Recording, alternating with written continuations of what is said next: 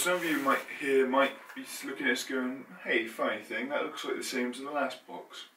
You'd be right, but this time, as always, I have to go and get SLI. I did say in the last video I would, I wasn't expecting to get it as soon as I did, but it happened. So I need to test these figures again on these games that I tried before and see, is it really worth it? From what I can tell, it already is. Let's find out, eh, shall we? So first thing I need to do is get this thing out of the box, which I should be able to do this time because I know how to open these things, and put them in the machine. So let's do that.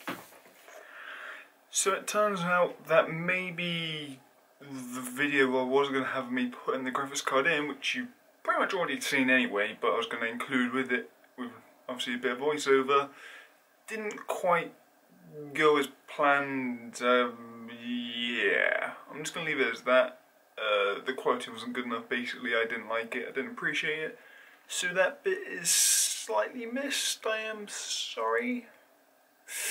But anyway, it's a day or so later, I have got it all in, I have been using it, I have, admittedly I've been having a bit of fun with it first before doing this video sort of stuff, and I do apologise for the shade camera, as you may see by this arm right here, I am videoing, well like this, for a change. I thought I would take a bit more of a unprofessional approach to it. It's something to make up for not having a video anyway. But yeah, it's all in. Um, excuse me, I'll just show you the way. And this year's all in, 1980s, two of them. I'm just going to move a bit closer where you're probably going to hear a bit of fan noise. I might cancel that out.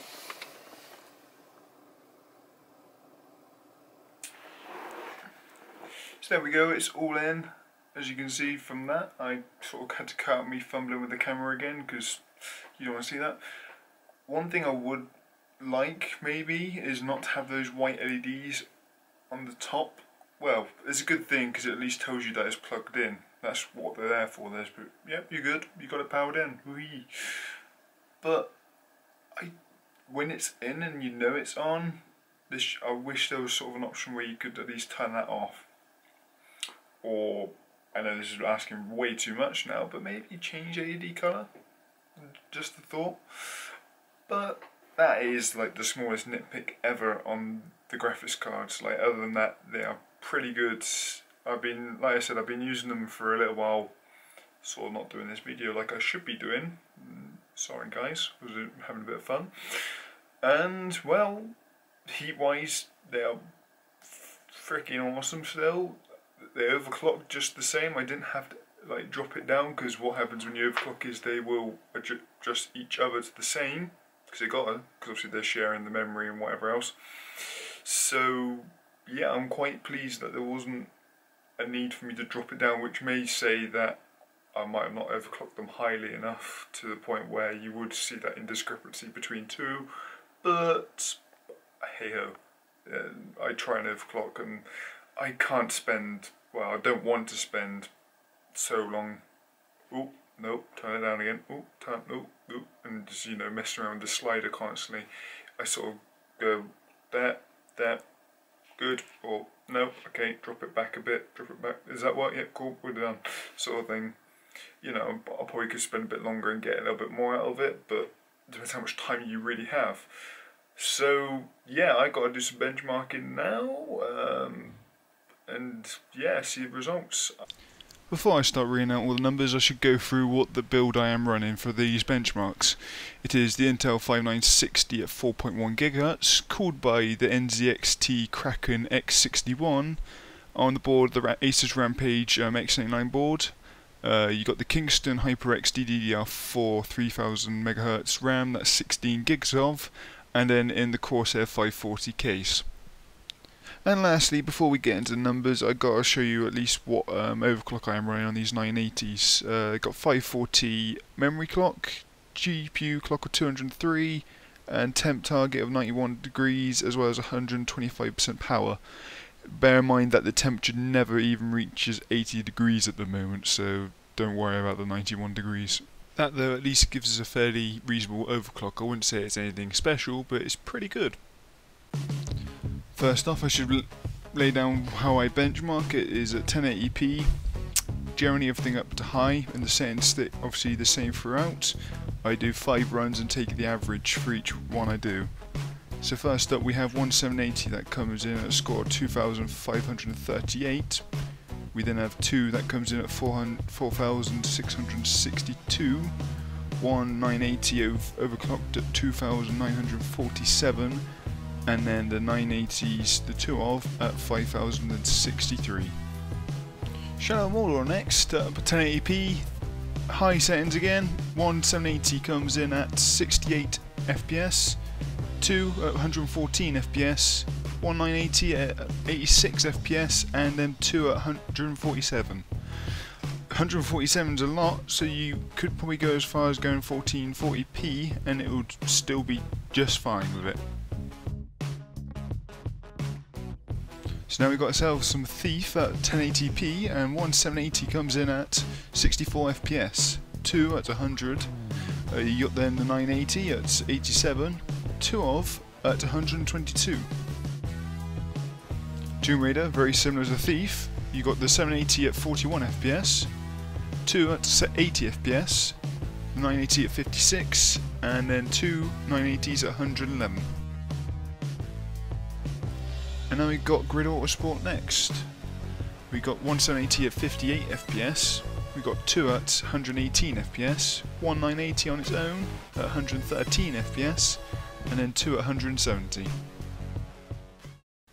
So there we have it, that's um, the 980s for you, uh, two of them for that matter.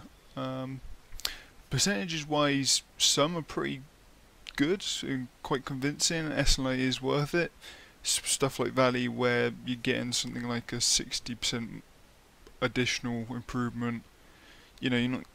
In some cases, you may be getting nearly double. Obviously, you never are going to get double the performance, but you're, you're getting close at least.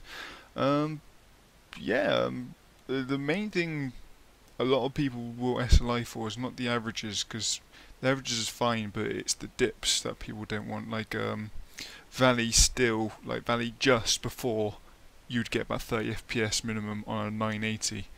You've now taken out another 10 frames, you're up to about 41, it reckons. And you get stuff like um, Shadow of Mordor, where you get you used to get a minimum of just under 60 FPS, which is fine for a lot of people. But a lot of people like to have it over 60. If you're on a PC, that's generally what you would be after. Um, in this case, you're getting 95 as a minimum, it reckons, which is pretty damn good. Like, I'm, I would be happy with that, especially at all ultra minimum. I would like it to really run at a 60. Tomb Raider had a hard time of um, staying like it, it, it was the maximums before were only just over the 60, they're about 74, which is good. Like most people will deal with that, they'll just probably maybe bump down the AA a little bit, deal with a little bit more jaggies, and then it'll still be perfect, like FPS wise.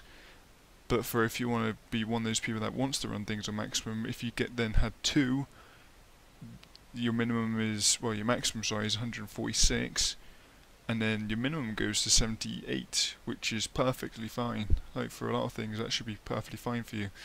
Uh, the SLI performance wise though, Thief seemed to run worse than Tomb Raider when it came to SLI. I don't know if that's to do with the profiling or what for instance, but um, it, it, seemed a lot of lot of difference between the two, whereas Tomb Raider for instance, you were seeing a double, which I am don't really get at the moment.